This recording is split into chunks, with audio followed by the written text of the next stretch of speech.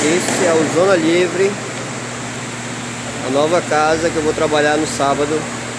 E vai ser para as equipes, para as mulheres, com as melhores bandas de Manaus e as melhores atrações. Bora moçada, curtir esse forrozão?